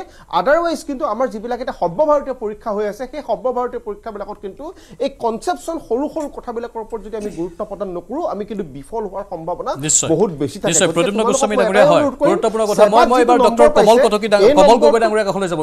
অলপ অলপ সময় ৰ'ব। আপুনি আমাৰ সৈতে থাকিব লাগিব। এঘণ্টা অনুষ্ঠান যিহেতু। মই কমল। গগৈ ডাঙৰীয়া আপোনাৰ কাষলৈ আহিছোঁ। চৰকাৰে প্ৰণয়ন কৰা নতুন শিক্ষানীতিৰ অধীনত সোমাই পৰিব এতিয়া ছাত্ৰ জীৱনৰ শৈক্ষিক ভৱিষ্যত। অহা বৰ্ষৰ পৰা। আজি ফলাফল ঘোষণা হ'ল এয়া হ'ল অন্তিমটো মেট্ৰিক পৰীক্ষা। আজিৰ ফলাফল ঘোষণা স্বাভাৱিকতেই বহুখিনি ইতিবাচক দিশৰ কথা বহুতেই কৈছে। সমান্তৰালভাৱে অহা বৰ্ষৰ পৰাও কি হ'ব তাক লৈও একাংশ চিন্তান্বিত। কমল কমল গগৈ ডাঙৰীয়া। অভিনন্দন জ্ঞাপন কৰিছো। আমাৰ আজি পৰীক্ষাত যিসকলে ভালকৈ পাছ কৰিছে আৰু তেওঁলোকে ভৱিষ্যতলৈ আৰু আগবাঢ়ি যাওক। এইটো আশীৰ্বাদ আমাৰ সদায়ে থাকিব। ছেভেণ্টি ফাইভ পাৰ্চেণ্ট যি পাছ কৰিছে মই কওঁ যে এশ শতাংশ ফলাফল হ'ব লাগে। আজি যিসকলে ফেইল কৰিছে তেওঁলোকৰ ঘৰত হয়তো চৰুৰ তললৈ জুই যোৱা নাই এই মুহূৰ্তত। তেনেকুৱা দুখ লগা বহুত কাহিনী থাকে কিন্তু আমি আজি এই আলোচনাতে সকলোৱে চিন্তা কৰিব লাগিব যে যিসকল ল'ৰা ছোৱালী প্ৰত্যেক বছৰে ফেইল কৰি গৈছে তেওঁলোকে আজি নামটো ল'ব মেট্ৰিক ফেইল। পৰৱৰ্তী সময়ছোৱাত তেওঁলোকে কেনেধৰণে পাছ কৰিব পাৰিব সেইটো মই নাজানো। আৰু এইবাৰৰ কেইটামান টেকনিকেল কথা কি চাৰ্টিফিকেট যিসকলে পাব তেওঁলোকৰ বয়সটো সেই চাৰ্টিফিকেট বিলাকত থাকিব। পৰৱৰ্তী বৰ্ষত এনুৱেল পৰীক্ষা হিচাপে হ'ব মেট্ৰিক পৰীক্ষাটো। তেতিয়া হয়তো বয়সটো নাথাকিব। বয়সৰ যিটো আমাৰ থাকে চাকৰি পাবৰ কাৰণে বা অন্য প্ৰুফ হিচাপে দিবৰ কাৰণে চাৰ্টিফিকেটখন এইটো হয়তো টুৱেলভত দিবগে লগা হ'ব পাৰে। আৰু কেইটামান কণ্ডিশ্যন আমাৰ নিউ এডুকেশ্যন পলিচিত আপুনি কোৱাৰ দৰে সলনি হ'ব। সেইটো হ'ল আমি আজি মেট্ৰিক পৰীক্ষা উঠুৱাইছো কিন্তু নাইন টেন গুৰুত্ব দিয়ে আমাৰ ছাত্ৰ ছাত্ৰীসকলে পঢ়িব লাগিব। কাৰণ এই সময়ছোৱাতে তেওঁলোকে ছায়েন্স পঢ়িম নে আৰ্টছ পঢ়িম নে কমাৰ্চ পঢ়িম ঠিক কৰিব লাগিব। গতিকে ক্লাছ টেনৰ পৰীক্ষাটো গুৰুত্বহীন কেতিয়াও নহয়। আৰু এইটো ধাৰণা আমি সুমুৱাই দিব নালাগে যে মেট্ৰিক পৰীক্ষা নহ'ব তোমালোকে পাছ কৰিবাই তেনেকুৱা কথা কেতিয়াও হ'ব নোৱাৰে। কাৰণ কেন্দ্ৰীয় চৰকাৰেও এটা সিদ্ধান্ত লৈছে যে সমগ্ৰ ভাৰতবৰ্ষতে সৰ্বভাৰতীয় পৰ্যায়ৰ এই পৰীক্ষাবোৰ চূড়ান্ত পৰীক্ষাবোৰ একেধৰণে হ'ব লাগে। গতিকে সকলোৱে এতিয়া সাজু হবৰ হ'ল অহা যিটো টেনৰ পৰীক্ষা হ'ব সেইটো কিন্তু মেট্ৰিকৰ দৰে হ'ব। আৰু মই জনাত এইটো সেৱাই কণ্ট্ৰল কৰিব। গতিকে তেওঁলোকে কিন্তু এতিয়া ডাঙৰীয়া ছেবা আৰু উচ্চতৰ। মাধ্যমিক শিক্ষা সংসদ মিলি এখন বৰ্ড হ'ব বুলি চৰকাৰে কৈছিলে। সেইটো কি হ'ব হয় এতিয়া দুইটা বৰ্ড যোগ হৈ অসম স্কুল এডুকেশ্যন এখন বৰ্ড হ'ব। আৰু টুৱেলভ পৰীক্ষাটো ফাইনেল পৰীক্ষা হ'ব। আমি হয়তো এনেধৰণে আলোচনা কৰিবলৈ বহিম অহা বছৰ আমাৰ দ্বাদশ শ্ৰেণীৰ ৰিজাল্ট দিয়াৰ পিছত। কিন্তু আজিৰ এই আলোচনাটোৱে আমাৰ যে যিসকল পৰীক্ষাৰ্থীয়ে পাছ কৰিছে বা যিসকলে ফেইল কৰিছে তেওঁলোকক যথেষ্টখিনি উৎসাহ যোগাইছে। আপোনালোকে কৈছে অলপ আগত মেট্ৰিক বুলি ক'লে আমাৰ কেনেকুৱা এটা মনোভাৱ হয়। কিন্তু মই ভাবো ক্লাছ টেনৰ পৰীক্ষাটো কেতিয়াও গুৰুত্বহীন কৰিব নালাগে। আমাৰ পৰীক্ষাৰ্থীসকলে হওক ছাত্ৰ ছাত্ৰীসকলে হওক আজি ছেভেণ্টি ফাইভ পাৰ্চেণ্ট ফলাফল হৈছে। মই কওঁ যে এশ শতাংশ হ'ব লাগে। কিন্তু ছেভেণ্টি ফাইভ পাৰ্চেণ্ট হৈছে বুলিয়ে আমি কোৱালিটি এডুকেশ্যন পাইছো বুলি কেতিয়াও ক'ব নোৱাৰো। গতিকে কোৱালিটি এডুকেশ্যন বঢ়ালেহে সৰ্বভাৰতীয় পৰ্যায়ৰ যিকোনো পৰীক্ষাত বা টুৱেলভ পৰীক্ষাতে হওক আমাৰ অসমৰ ল'ৰা ছোৱালীয়ে ভাল ফলাফল দেখুৱাব পাৰিব। তেওঁলোকে উচ্চ শিক্ষা অনুষ্ঠানবিলাকত এন্ট্ৰেন্স দি যিহেতু তেওঁলোকে এডমিশ্যন ল'বগে লাগিব। গতিকে পঢ়িবই লাগিব টেনতো ভালকে পাছ কৰিব লাগিব নাইনতো পাছ কৰিব লাগিব। ইলেভেনতো পাছ কৰিব লাগিব কেতিয়াও টেনত মেট্ৰিক নহয় বুলি এইটো ধাৰণা ল'ব নালাগে যে আমি ভালকে পঢ়িব নালাগে বৰ ভাল কথা কৈছে মানে সহজভাৱে ল'ব নালাগে। হয় কমল গগৈ। ডাঙৰীয়া মূল কথাটো হৈছে হ'ল কি। আমি অহা বৰ্ষ- বৰ্ষত হয়তো টুৱেলভৰ ৰিজাল্টৰ ওপৰতহে আলোচনা বেছি গুৰুত্ব দি কৰিম নিশ্চয় নিশ্চয় কিন্তু আজি যে আমি মেট্ৰিকৰ ওপৰত কৰিছো মই আকৌ কৈছো এইটোৱে কিমান অসমৰ ল'ৰা ছোৱালী গাৰ্জেনক উৎসাহ যোগাইছে। যে মোৰ ল'ৰাই আজি মানে ভাল ফলাফল কৰিছে সকলোৱে বুকু ডাঠি এটা কথা ক'ব পৰা হৈছে মোৰ ল'ৰাই আজি ভালকে পঢ়ি ডাঙৰ মানুহ হ'ব তেনেকুৱা বহুত আশা বান্ধি আগবাঢ়ি গৈছে। গতিকে পৰৱৰ্তী ক্লাছ টেনৰ পৰীক্ষাটো গুৰুত্বহীন কৰিব নালাগে সকলো ছাত্ৰ ছাত্ৰীকে মই আহ্বান জনাম যি ক্লাছ টেনত এতিয়া পঢ়ি আছে নাইনত পঢ়ি আছে তেওঁলোকে আজিৰ পৰা ভালকে পঢ়িবলৈ ভাল পাৰ্চেণ্টেজ বা জ্ঞান ল'বলৈ তেওঁলোকে চেষ্টা কৰক কেতিয়াও বোলে ষ্টেণ্ড কৰিব লাগিব নেলাগিব এই কথাটো লৈ। তেখেতসকল আহিব লাগে। গতিকে নম্বৰতকৈ জ্ঞানৰ গুৰুত্ব সদায়ে বেছি। সদায় বেছি কাৰণ আৰু সেইটো আমি সেইটো আমি- সেইটো আমি আমাৰ সময়ে সময়ে দেখা পাই থাকো। বহুত নম্বৰ পোৱা শিক্ষাৰ্থীও এটা সময়ত গৈ সেই নম্বৰৰ একো মূল্য নাথাকেগৈ। সেইটো সেইটো আমি হয় হয় গগৈ ডাঙৰীয়া আহিম আপোনাৰ কাষলৈ। মই মই উদয় ফুকন ডাঙৰীয়াৰ কাষলৈ আহিছোঁ। মূল কথাটো হৈছে যে কোৱালিটি এডুকেশ্যন যিটো কথা আমি কৈ থাকোঁ। এতিয়াও কিন্তু আমাৰ ভাৰতবৰ্ষত বিশেষকৈ অসমত সেই কোৱালিটি এডুকেশ্যনৰ ক্ষেত্ৰত ক'ৰবাত যেন ক'ৰবাত কিবা এটা মানে খুঁত আছে আমি পোৱা নাই এতিয়াও তেনেকুৱা লাগে। বিশেষকৈ নব্বৈ দশকৰ সেই পৰিৱেশটো আমি পাই আহিছোঁ আমি জানো ভালকৈ। শিক্ষাৰ নামত অসমত এটা সময়ত কি চলিছিল। এতিয়াও কিন্তু সেইটো একেবাৰে সুদৃঢ় হোৱা নাই। নহয় একেবাৰে শুদ্ধ হোৱা নাই কিন্তু সেই পথলৈ আগবাঢ়িছে। এতিয়া চাওক কথাটো এনেকুৱা ধৰণৰ দুটা ধৰণে ক'ব পাৰোঁ মই শিক্ষক হিচাপে মই নিজে ব্যক্তিগতভাৱে কৈছোঁ। যে কোৱালিটি এডুকেশ্যন তাৰমানে গুণগত যিটো শিক্ষা সেই শিক্ষাটো নিৰ্ভৰ কৰিব শিক্ষকসকলৰ ওপৰত আৰু শিক- আৰু শিক্ষা ব্যৱস্থাটোৰ ওপৰত ধৰি লওক। বিদ্যালয়খনত শিক্ষকসকলে যে ভাবে যে আমাৰ শিক্ষাৰ্থীসকলক আমি নম্বৰৰ পিছত দৌৰিবলৈ দিম নে সঁচাকৈ জ্ঞান প্ৰদান কৰিম। কিন্তু এটা কথা কি নম্বৰো আমাৰ প্ৰয়োজনীয় বস্তু কাৰণ নম্বৰ নহ'লে আমি আজিকালি একোৱেই কৰিব নোৱাৰোঁ। দুইটা কথা মাজত সামঞ্জস্য ৰাখিবলগীয়া হয়। গতিকে এই শিক্ষা প্ৰদান কৰোঁতে আমি পৰীক্ষাৰ কথাটো নিশ্চয় চিন্তা কৰিম কিন্তু তাৰ ক্ষেত্ৰত আমি যিটো কনচেপচুৱেল এডুকেশ্যন বুলি কোৱা হয় যে ধাৰণাখিনি শুদ্ধ শুদ্ধ কৰি সেইটো দিয়াৰ দায়িত্ব শিক্ষকসকলৰ লগতে সেই শিক্ষা ব্যৱস্থাত জড়িত থকা সকলো ব্যক্তিৰ। অনুষ্ঠানটো হ'ব বা অন্যান্য ব্যক্তিসকলৰ যিসকলে সেই শিক্ষা প্ৰদানৰ লগত জড়িত হৈ থাকে। গতিকে এই আৰু- এইটো কিয় প্ৰয়োজন মন কৰিব? যিটো এতিয়া ধৰি লওক এই বছৰে আমাৰ অ' এম আৰ চিটৰ যিটো ব্যৱস্থা কৰা হৈছে তাত যদি শিক্ষাৰ্থীজন শিক্ষাৰ্থীজনে যদি ভালদৰে কথা কথাখিনি বুজি নাপায় তে তেওঁ তাত নম্বৰ পোৱাৰ আশা কম থাকে। গতিকে প্ৰত্যেকটো কথাই ভালকৈ বুজি পাব লাগিব। সেই ক্ষেত্ৰত বিদ্যালয়ত পাঠদানৰ কথা নিয়মিত হ'ব লাগিব। পাঠদান কৰোঁতে শুদ্ধ ধৰণা দিব লাগিব আৰু সেই সেইখিনি অভ্যাস কৰাব লাগিব। এই ধৰণৰ লগতে হাতে কামে কৰি দেখুৱাব লাগিব বিজ্ঞান যদি পঢ়োৱা কথা হয়। মই বিজ্ঞানৰ শিক্ষয়িত্ৰী হিচাপে কৈছোঁ। অকল কিতাপখন ভৰসা কৰিলে নহয় কিতাপখনেই একমাত্ৰ টিচিং এইড বা শিক্ষণ সঁজুলি নহয়। অন্যান্যবিলাক গ্ৰহণ কৰিব লাগিব সেই ব্যৱস্থাত সোমাই পৰিব লাগিব। গতিকে এইখিনি এতিয়া কৰিব লাগিব এই অকল দশম শ্ৰেণীৰ কাৰণে নহয় তাৰমানে আমি জানো যে যে এই আজিকালি ল'ৰা ছোৱালীয়ে ইউ পি এছ চি দিয়ে এ পি এছ চি দিয়ে এইবিলাক পৰীক্ষাত অৱতীৰ্ণ হয় বা এতিয়া চি ইউ ইটো দিব লাগিব সকলো ধৰণৰ পৰীক্ষাত শিক্ষা ল'ব। এইবাৰৰ যিটো পৰীক্ষা হ'ল আপুনি ক'ব বিচাৰে নেকি সেই আগন্তুক দিনৰ সেই সৰ্বভাৰতীয় পৰ্যায়ৰ পৰীক্ষাবোৰৰ বাবে এওঁলোকক সাজু কৰাৰ এটা প্ৰক্ৰিয়া আছে মই বা ভাবোঁ কৰিবলৈ মই ভাবোঁ হয়। কৰিবলৈ সক্ষম হৈছে বুলি আপুনি ভাবে সক্ষম হোৱা নাই কিন্তু এটা বাট মুকলি কৰি দিছে। আৰু। এই বাটটোৱেদি যে যাব এতিয়া গ'লে ল'ৰা শিক্ষাৰ্থীসকলৰ উপকৃত হ'ব কাৰণ এই বাটটো মুকলি কৰিছে। আৰু তেতিয়াহ'লে আমাৰ চাওক এতিয়া শিক্ষাৰ্থীসকলে চাৰি নম্বৰীয়া তিনি নম্বৰীয়া প্ৰশ্ন মুখস্থ কৰি পৰীক্ষা দিবলৈ নাযাব। এতিয়া তেওঁলোকে গোটেই পাঠ্যপুথিখন ভালদৰে তন্ন তন্নকৈ পঢ়ি পেলাই যাব। সেইটো এটা খুব ভাল কথা। সেইটোৱে তেওঁলোকক ভৱিষ্যত জীৱনত আগবঢ়াত সহায় কৰিব। মানে প্ৰকৃত অৰ্থত স্বপ্নৰাণী দাস বাইদেউ তেওঁলোকক জ্ঞানী কৰিব। হয়, হয়নে।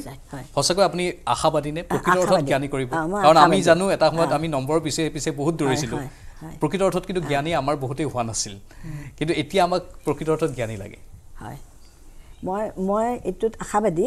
কাৰণ এতিয়া ল'ৰা ছোৱালীবিলাকেও বুজি পাব যে তেওঁলোকে কিতাপখনো ভালকৈ পঢ়িব লাগিব। খৰচী মাৰি পঢ়িব লাগিব। খৰচী মাৰি পঢ়াৰ লগে লগে তেওঁলোকৰ বিভিন্ন ধৰণৰ জ্ঞানটোৱে আয়ত্ব কৰিব পাৰিব। অকল নম্বৰৰ কাৰণেই নহয়। নম্বৰটো আমাৰ তেখেতে কোৱাৰ নিচিনা নম্বৰটো আমাৰ প্ৰয়োজন বহুত ক্ষেত্ৰত। কিন্তু তাৰ নম্বৰটোৰ লগত আমাৰ জ্ঞান বাঢ়াটো বহুত প্ৰয়োজন। জ্ঞানটো। যেতিয়া আমাৰ আহিব তেতিয়াহে আমি পৰিৱেশৰ লগত খাপ খাই নিজক আগুৱাই নিব পাৰিম। ল'ৰা ছোৱালীবিলাকে নিজক আগুৱাই নিব পাৰিব। আৰু ব্যৱহাৰিক সমান্তৰালভাৱে ব্যৱহাৰিক শিক্ষাটোৰ কথা। দয়ানন্দ পাঠক ডাঙৰীয়া। যে সামগ্ৰিকভাৱে অকল মানে আমি পাঠ্যপুথিৰ মাজতে সীমাবদ্ধ হৈ থকা নাই। গোটেইখিনি আয়ত্ব কৰিব পাৰিছোঁ। এতিয়া মই অনুৰাগৰ কথা বাৰে বাৰে কৈ আছোঁ। তেওঁতো ইলেক্ট্ৰিক ইলেক্ট্ৰনিক ছফ্টৱেৰ ইঞ্জিনিয়াৰ হোৱাৰ তেওঁৰ মন তেওঁ গুগল আৰু ইউটিউবৰ সৎ প্ৰয়োগ কৰিলে। তেওঁ ইণ্টাৰনেটৰ সৎ প্ৰয়োগ কৰিলে টিউশ্যন নল'লে তেওঁ তাৰ পৰা গোটেইখিনি কথা আয়ত্ব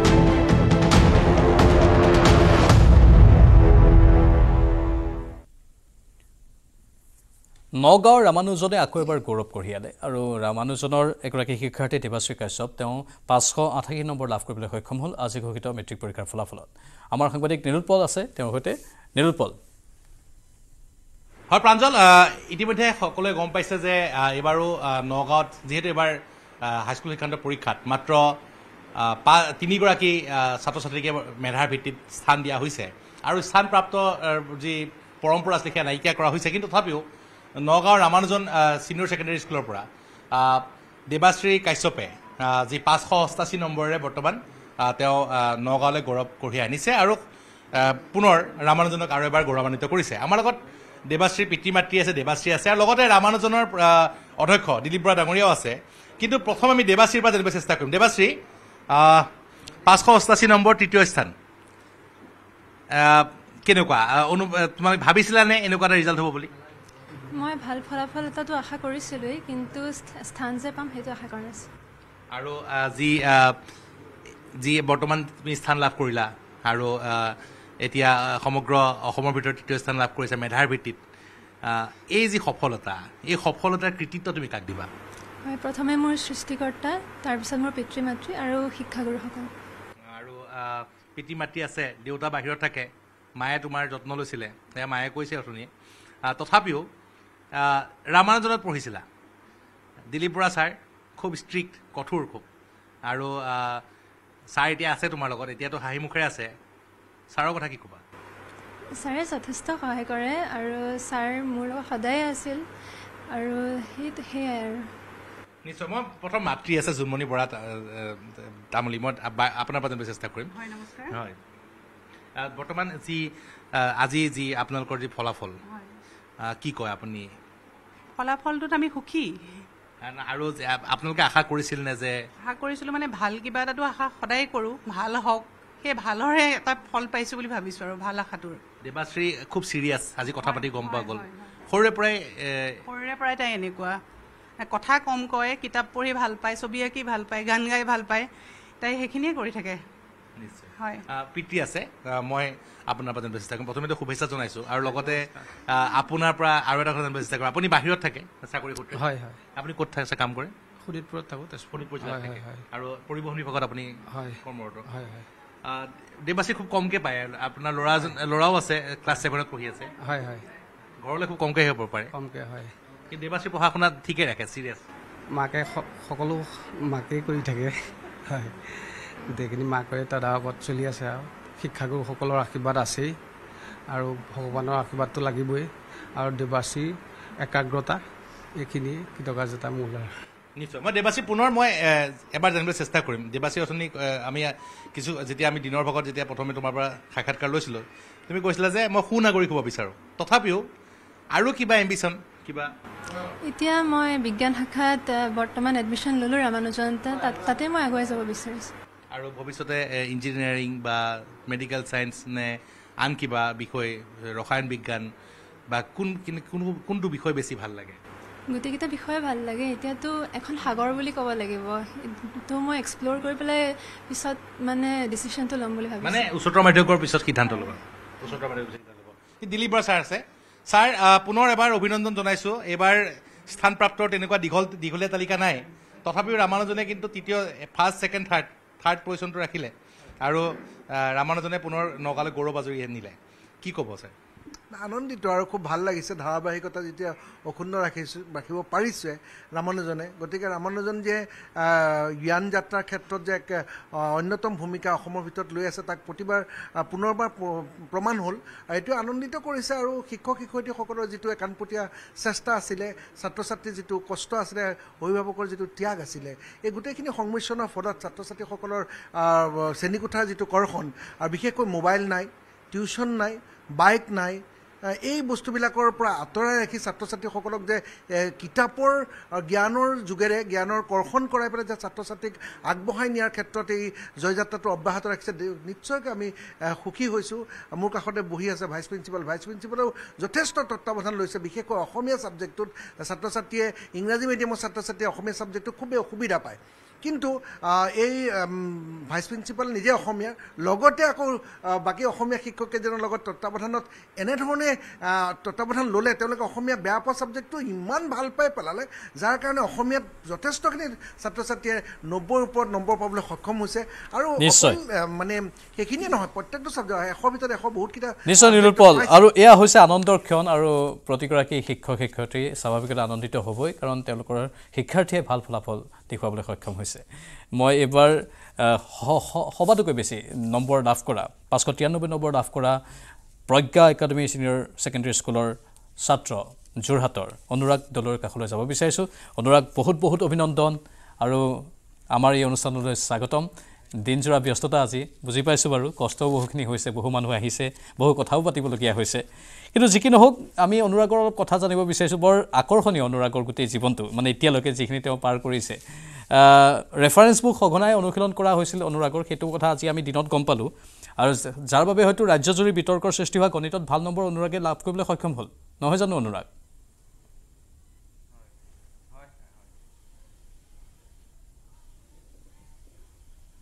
অনুৰাগ শুনি আছে মোক? হয় আপোনাৰ মাতটো অলপ কমকৈ আহিছে মই আমাৰ আহ, নিয়ন্ত্ৰণটো কক্ষত থকা লোকসকলক অনুৰোধ জনাইছোঁ অলপ চাই দিবলৈ।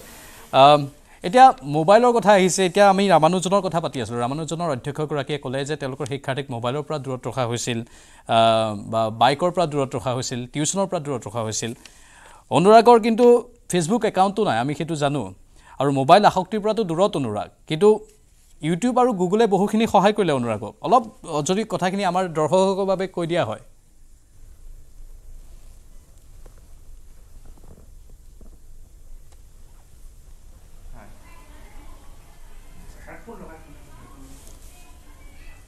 অনুৰাগ শুনি আছে? হয় হয় শুনি আছোঁ। হয় এই এই এই গোটেই কথাখিনি ইউটিউব আৰু গুগলে কেনেধৰণে সহায় কৰিলে অনুৰাগক অলপ জানিব বিচাৰিছোঁ। হয় হয়। হয় মই যদি কিবা মানে ছ'চিয়েল ছায়েন্সৰ হওক ইংলিছৰ হওক যদি কিবা ডাউট থাকে কুৱেশ্যন আনচাৰ পৰা নাই তেতিয়া মই গুগলত চাইছোঁ তাত বাইজুচ আছে বেদান্তু আছে তেনেকুৱা বহুত ধৰণৰ মানে কিছুমান ছাইট আছে তাত যিবোৰ কুৱেশ্যন আনচাৰখিনি সহজে উপলব্ধ তাৰ পৰা বহুত মই জ্ঞানো আহৰণ কৰিছিলোঁ বিভিন্ন ধৰণৰ ছায়েন্সৰ বস্তু চাইছিলোঁ। কিছুমান ফেক্টটো চাইছিলোঁ তেনেকৈ তাৰপৰা বহু জ্ঞান আহৰণ কৰিছিলোঁ মই। আৰু ইলেক্ট্ৰনিক সামগ্ৰীৰ প্ৰতি বহুত মানে অনুৰাগ আছে নেকি অনুৰাগৰ? হয় ইলেক্ট্ৰনিক সামগ্ৰীৰ প্ৰতি সৰুৰে পৰাই আছে। যদি আগতে যেতিয়া ঘৰত মোক কিবা ৰবট গাড়ী কিবা কিনি দিয়ে মই এইবোৰ সকলো খুলি খালি মানে কি ভিতৰত আছে কি লগাইছে সৰুৰে পৰাই এইবোৰ মানে সেইখনৰ সেই দিশটোৰ প্ৰতি বহুত উৎসাহ আছিলে। সেইকাৰণে এতিয়া ছায়েন্স পঢ়াৰ মই মানে ভাবিছোঁ এতিয়া। হয় এতিয়াতো প্ৰজ্ঞা একাডেমীতে নামভৰ্তি হৈ গৈছে বিজ্ঞান শাখাত আৰু ছফ্টৱেৰ ইঞ্জিনিয়াৰ হোৱাৰ মন নহয় জানো অনুৰাগ? হয় ছাৰ হয় হয়। হয় এতিয়া অনুৰাগৰ অলপ পঢ়াৰ মই গোটেইখিনি কৌশল জানিব বিচাৰিছোঁ। মানে অনুৰাগে তবলাও বজাই ভাল অনুৰাগে গান শুনি নিজে ৰিলেক্সো হয় আকৌ অনুৰাগে কাৰাটেৰ ব্ৰাউন বেল্টধাৰীও হয়। মানে ব্ৰাউন বেল্টো লাভ কৰিছে তেওঁ। মানে একেলগে গোটেইকেইটা কাম। আৰু একেৰাহে এঘ- এঘণ্টা কিবা ডেৰ ঘণ্টা পঢ়াৰ পাছত আকৌ অনুৰাগে মাজে মাজে তাবলা বজায় বা গান শুনি আকৌ মনোসংযোগটো যাতে বিঘ্নিত নহয় তাৰ বাবে কিছু ব্যৱস্থা নিজেই কৰি লয়। অলপ সেইখিনি কথা আমাৰ বাকী ছাত্ৰ ছাত্ৰীসকলৰ বাবে যদি অনুৰাগে নিজে কৈ দিয়ে।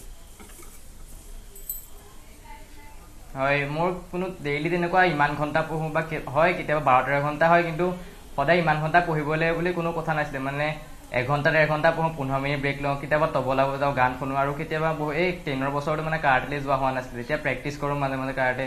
কেতিয়াবা বাহিৰা কিতাপ এখন কিতাপ এখনো উলিয়াই লওঁ দহ পোন্ধৰ মিনিট পঢ়োঁ বা চাইকেল চলাওঁ তেনেকৈ ৰিফ্লেক্সৰ মানে ৰিলেক্সমেণ্টৰ কাৰণে তেনেকৈ মাজে মাজে ব্ৰেক লৈছিলোঁ মই। মানে কিবা বিশেষ প্ৰত্যাশা আছিল নেকি যে মই এনেধৰণে পঢ়িলে মই এইটো হ'ব পাৰিম বা ইমান নম্বৰ পাব পাৰিম? কিবা বিশেষ প্ৰত্যাশা বুকুত বান্ধি লোৱা হৈছিল নেকি আগতে?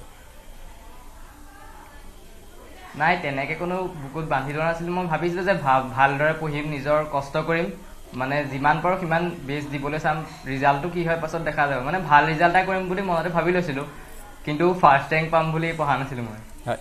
এতিয়া ভাল ৰিজাল্ট বুলি ক'লে বহুতে কয় পিতৃ মাতৃয়ে প্ৰেছাৰ দিয়ে বা হেঁচা দিয়ে শিক্ষক শিক্ষয়িত্ৰীয়েও হেঁচা দিয়ে বুলি বিভিন্ন সময়ত কোৱা হয়। এতিয়া অনুৰাগৰ ক্ষেত্ৰত কি হৈছিল? পিতৃ মাতৃয়ে কিবা হেঁচা দিছিল বা শিক্ষক শিক্ষয়িত্ৰীয়ে কিবা হেঁচা দিছিল? নাই তেনেকুৱা কোনো হেঁচা নাছিলে। মোৰ মাহঁতে কৈছিলে তই পঢ়চোন বাৰু নিজৰ কষ্টটো কৰ ৰিজাল্টটো কি হয় পাছত দেখা যাব। তই যিয়ে পাওঁ আমি তাতে সুখী হ'ম। সেইকাৰণে কোনো মনত কোনো মানে প্ৰেছাৰ সোমোৱাই দিয়া নাছিল। তই এইটো পাবই লাগিব বুলি কোৱা নোকোৱা কোৱা নাছিলে মোক। আৰু সেয়েহে নিজৰ ফ্ৰী মনেৰে পঢ়িব পাৰিছিলোঁ অলপ। মানে নিজৰ মনৰ মতে পঢ়িবলৈ পূৰা সম্পূৰ্ণ সুযোগ পাইছিলে অনুৰাগে নহয় জানো? হয় হয় হয় ছাৰ। হয়। বৰ ভাল লাগিল অনুৰাগ কথাখিনি গম পাই। আৰু আমি আশা কৰিছোঁ যাতে অনুৰাগেও এখন সুন্দৰ পৃথিৱী গঢ়াৰ ক্ষেত্ৰত আগন্তুক দিনত অগ্ৰণী ভূমিকা পালন কৰে। অনুৰাগ বহুত বহুত ধন্যবাদ। আকৌ এবাৰ অভিনন্দন জ্ঞাপন কৰিছোঁ। আৰু প্ৰ- প্ৰথম স্থানপ্ৰাপ্ত স্থানপ্ৰাপ্ত বুলি যদি নকওঁ আমি তেনেহ'লে সৰ্বোচ্চ নম্বৰপ্ৰাপ্ত বুলি কৈছোঁ এয়া অনুৰাগ দলৈ আৰু তেওঁ আমাৰ সৈতে থাকিল ইমান সময়। বৰ ভাল লাগিল কথা পাতি। আজি দিনজোৰাকৈ তেওঁ বিভিন্নজনৰ সৈতে কথা পাতিছে। বহুখিনি কষ্টও হৈছে আৰু তাৰ মাজতো এইখিনি সময় আমাক দিছে। কিন্তু আমাৰ আলোচনা চলি থাকিব। এইখিনিতে সময় হৈছে বাণিজ্যিক বিৰতিৰ। সাধাৰণ ষ্টীল এনেকৈ পৰে। মাইথন ষ্টীল এনেকৈ পৰে। ধমকৈ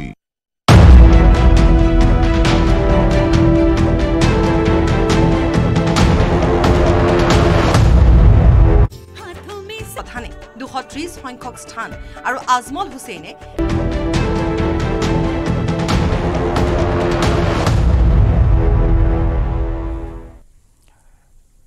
মেট্ৰিকৰ ফলাফল ঘোষণা হ'ল আৰু আমি যিসকলে সৰ্বাধিক নম্বৰ পাইছে তেওঁলোকৰ সৈতে কথা পাতি এটা অনুমান কৰিব পাৰিছোঁ যে তেওঁলোক চাপমুক্ত হৈ তেওঁলোকে পৰীক্ষাত অৱতীৰ্ণ হৈছিল বা পঢ়িছিল।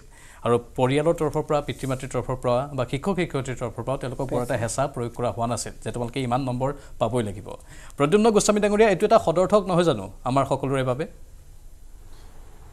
এইটো এইটো এটা অত্যন্ত ভাল আৰু ইতিবাচক দিশ। আৰু এটা কথা প্ৰাঞ্জল এটা কথা আমি লক্ষ্য কৰিছোঁ এইটো কিন্তু এই বছৰে হঠাৎ হোৱা নাই। আজি বিগত কিছু দিনৰ পৰা আমাৰ এই ছাত্ৰ ছাত্ৰীসকলৰ ওপৰত যিটো অভিভাৱকৰ হেঁচা এই ক্ষেত্ৰত অভিভাৱক বহুতসকল অভিভাৱক এই ক্ষেত্ৰত অলপ সচেতন হৈছে আৰু তেখেতলোকে অলপ বুজি পোৱা হৈছে যে ছাত্ৰ ছাত্ৰীক আচলতে তেনেকুৱা হেঁচা প্ৰয়োগ কৰাটো উচিত নহয়। তাৰ পিছতো দুই এটা ব্যতিক্ৰম আছে কিন্তু তথাপিও এই কথাটো এটা খুব ইতিবাচক পদক্ষেপ হিচাপে আমি লাহে লাহে দেখিবলৈ পাইছোঁ যে শিক্ষাৰ ক্ষেত্ৰত ই এক অতি অত্যন্ত গুৰুত্বপূৰ্ণ আৰু ইতিবাচক দিশ আৰু বহুতেই কৈছে সকলোৱে কৈছে যে আচলতে নম্বৰতকৈ জ্ঞানৰ প্ৰয়োজনীয়তা অধিক আৰু নম্বৰতকৈ জ্ঞানৰ প্ৰয়োজনীয়তা অধিকটোৰ ক্ষেত্ৰত কিন্তু আমাৰ এণ্টায়াৰ এডুকেশ্যন ছিষ্টেমটোৰ বহুতখিনি খেলি মেলি আছে। বহুতখিনি প্ৰব্লেম যিটো দয়ানন্দ পাঠক ছাৰে কৈছে যে আশী বছৰৰ আগতেই এটা আচলতে স্ক্ৰেপ কৰা এডুকেশ্যন ছিষ্টেম এটা ব্ৰিটিছে স্ক্ৰেপ কৰা এডুকেশ্যন ছিষ্টেম এটা আমি আজিও আচলতে চলাই আছোঁ। নাইনটিন ছিক্সটি ফ'ৰৰ কোঠাৰী আয়োগৰ পৰামৰ্শৰ ভিত্তিতে যিটো এডুকেশ্যন ছিষ্টেম হৈছিলে আমাৰ এই national education policy two thousand nineteen অহাৰ আগলৈকে আমি সেই কথাটো চলাই আছিলোঁ। ই আচলতে আমাৰ গোটেই সমগ্ৰ শিক্ষা ব্যৱস্থাটোৰ কাৰণে এক অতি গুৰুত্বপূৰ্ণ আৰু ক্ষতিকাৰক। বিশেষকৈ ক্ষতিকাৰক দিশ আছিল এইটো আচলতে আপগ্ৰেড হ'ব লাগে। আপোনাৰ মোৰ মোবাইলত থকা এটা ছফ্টৱেৰ আমি এমাহৰ ভিতৰতে আপডেশ্যন হয় এটা আপডেট হয়। গতিকে সেই ছফ্টৱেৰটো বনাবলৈ এজন ব্যক্তিয়ে যিটো শিক্ষা ব্যৱস্থাত শিক্ষিত হয় সেই শিক্ষিত হোৱা শিক্ষা ব্যৱস্থাটো কিন্তু বিগত পঞ্চাছ ষাঠি বছৰে আপডেশ্যন আপডেট বা আপগ্ৰেডেশ্যন নহয়। ই এটা আচলতে অতি চিন্তনীয় বিষয়।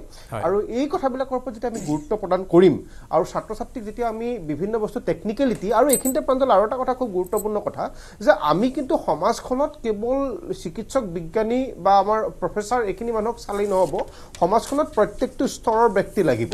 গতিকে আমাৰ এখন এটা অফিচ চলিবলৈ এজন ডাইৰেক্টৰ বা এজন প্ৰিন্সিপালৰ যিটো প্ৰয়োজন হয় সেই অফিচটো চলিবলৈ কিন্তু এজন পিয়ন বা এজন চকীদাৰৰ সমানেই প্ৰয়োজন হয়। গতিকে আমাৰ এই সকলো পৰ্যায়ৰ আৰু সকলো কেতিয়াও জন্মগতভাৱে আইনষ্টাইন হৈ নাহে। গতিকে আমাৰ জ্ঞানৰ মূল্যাংকনটো বা জ্ঞানৰ পৰিসীমাটো ছাত্ৰ ছাত্ৰী বেলেগ হিচাপে বেলেগ বেলেগ সাধাৰণতে হয়। কিন্তু আমাৰ আমাৰ গোটেই সমগ্ৰ মানে ৰাজনৈতিক বা সামাজিক ব্যৱস্থাটো এনেকুৱা এটা ব্যৱস্থা হৈ পৰিছে। আমি একাংশ ছাত্ৰ ছাত্ৰীৰ ওপৰত খুব অত্যাধিক গুৰুত্ব প্ৰদান কৰি বহুত আই আই টিৰ পৰা আৰম্ভ কৰি আই আই এমৰ পৰা আৰম্ভ কৰি বিভিন্ন ইউনিভাৰ্চিটিৰ পৰা আৰম্ভ কৰি সকলো বস্তু আমি মানে মানে খুলিছোঁ। কিন্তু এট দ্য ছেইম টাইম কিন্তু আমি যিখিনি তলৰ পৰ্যায়ৰ ছাত্ৰ ছাত্ৰী তেখেতলোকৰ স্কিল ডেভেলপমেণ্টৰ কথাটো আমি কিমান গুৰুত্ব দিছোঁ। এতিয়াও অসমত যদিও আই টি আইবিলাক আছে হয়। অসমত যদি এটা এ এছ ডি এম আছে Assam state skill development mission আছে। আপুনি এটা কথা খবৰ কৰিবচোন এই এ এছ ডি এম বা আই টি আইবিলাকে আচলতে প্ৰকৃততা প্ৰকৃত অৰ্থত গ্ৰাউণ্ড ৰিয়েলিটিত কিমানখিনি মানুহক কাম কৰিব পাৰিছে। বহুতে বহুতে মেৰপেচত তেওঁলোক সোমাই থাকে। বৰ বৰ সুন্দৰ কথা। কৈছে আপুনি প্ৰদ্যুম্ন গোস্বামী ডাঙৰীয়া মই কমল গগৈ কম। আপুনি- কমল গগৈ ডাঙৰীয়া। আপুনি বহু কেইখন বিদ্যালয়ৰ নিৰীক্ষক হিচাপেও আছিল। বহু দায়িত্ব আপুনি পালন কৰিছে সেৱাৰো দায়িত্ব পালন কৰিছে। আপুনি অভিজ্ঞতাৰে পুষ্ট। এতিয়া হ'ল কথাটো হ'ল যে চাপমুক্ত হোৱাটো। আৰু আমি প্ৰত্যেকে চাপমুক্ত হৈ পৰীক্ষাত অৱতীৰ্ণ হোৱা বা জীৱনৰ যিকোনো সিদ্ধান্তত উপনীত হ'ব পৰাটো বৰ ডাঙৰ কথা। নহয় জানো? এইবাৰ শিক্ষাৰ্থীসকলৰ ক্ষেত্ৰত আজিকালি শিক্ষাৰ্থীসকলৰ ক্ষেত্ৰত সেইটো আমি দেখিবলৈ পাইছোঁ। হয় চাইকলজিকেল কাউন্সেলিংটো প্ৰত্যেক বিদ্যালয়তে মই দৰকাৰ বুলি ভাবোঁ। আৰু এইটো শিক্ষা বিভাগে সোনকালে কৰিব লাগে এই বছৰো আৰম্ভ কৰিব লাগে। যিহেতু আমাৰ বহু ছাত্ৰ ছাত্ৰী কেৱল পঢ়াতে জড়িত নাথাকে তেওঁলোকে বিভিন্ন ধৰণে জড়িত থাকে। আৰু পৰীক্ষা হ'লে তেওঁলোকে হাহাকাৰ কৰে পাছ কৰিম ফেইল কৰিম এই কথাটো। আপুনি এটা কথা চাওক দুহেজাৰ সোতৰ চনত মই যেতিয়া সেৱা ছেক্ৰেটাৰী আছিলো তেতিয়া ফলাফলত মই চিগনেচাৰ কৰিছিলো আৰু পাৰ্চেণ্টেজ হৈছিল মাত্ৰ forty seven percent forty seven percent আৰু এই বছৰ শতিকাৰটোৰ আটাইতকৈ ভাল ফলাফল নেকি? ছেভেণ্টি ফাইভ পাৰ্চেণ্ট গতিকে শতিকাৰ এই ভাল ফলাটো ফলটো মই দেখি বৰ ভাল পাইছো। আৰু যেতিয়া ৰিজাল্ট দিয়া হয় এজন বিষয়াই বা এটা টিমে মানে কেইটামান কথা মানে চিন্তা কৰিবলগীয়া হয় বা এখন এক্সামিনেশ্যন বৰ্ডে সেইটো হ'ল নেক্সট হায়াৰ ক্লাছত এডমিশ্যনৰ কেপাচিটি কিমান আছে?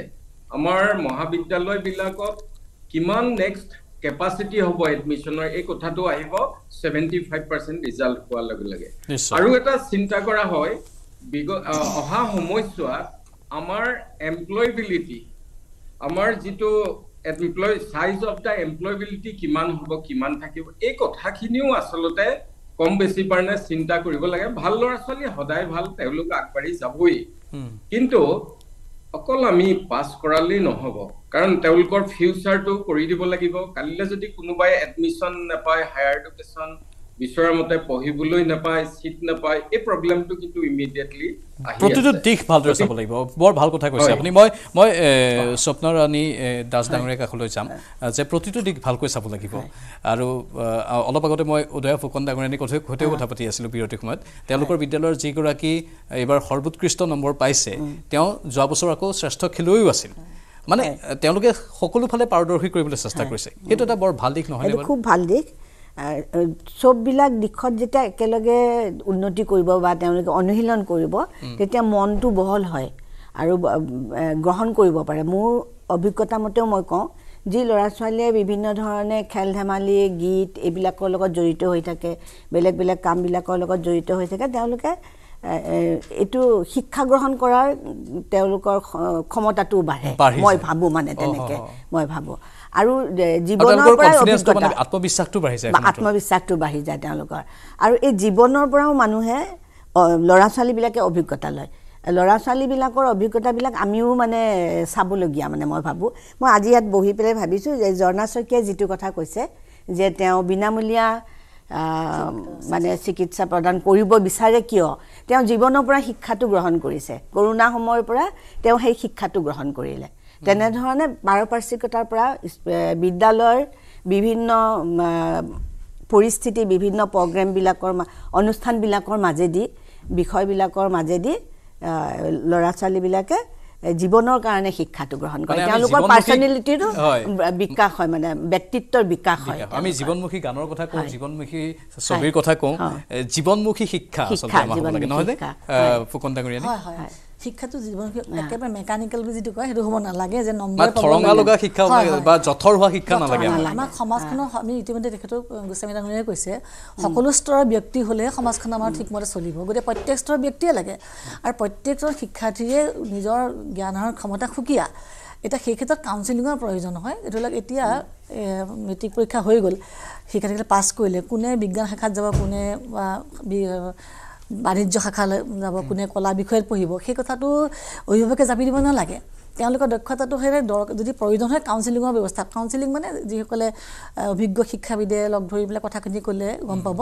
সেইবিলাক বহুত দৰকাৰী কথা। কাৰণ তেতিয়াহে আমি প্ৰত্যেকটো স্তৰৰ মানুহ মানে নাগৰিক সু নাগৰিক গঢ়িব পাৰিম। কৰিব পাৰিম। দয়ানন্দ পাঠক ডাঙৰীয়া ভাল আৰক্ষীও লাগিব ভাল ৰাজনৈতিক নেতাও লাগিব ভাল অভিনেতাও লাগিব অভিনেত্ৰীও লাগিব ভাল খেলুৱৈ লাগিব। মানে সকলোতে ভাল হ'বলৈ হ'লে সেই জীৱনমুখী শিক্ষাটো দিব পাৰিব লাগিব। এইবাৰ এটা কথা কি মই নিজৰ অভিজ্ঞতাৰ পৰা কৈছোঁ এটা কথা। যে ধৰক আপোনাৰ এইবাৰ আমাৰ এ চি এছৰ বা আই এছৰ যিবিলাক এণ্ট্ৰেঞ্চ যিবিলাক আহিছে তাত মই নিজেও ধৰক আপোনাৰ তাত অলপ আছিলোঁ সেইবিলাকত। তাত দেখিছোঁ কি যে কোনোবা কেমিকেল ইঞ্জিনিয়াৰিং পাছ কৰি আহিছে।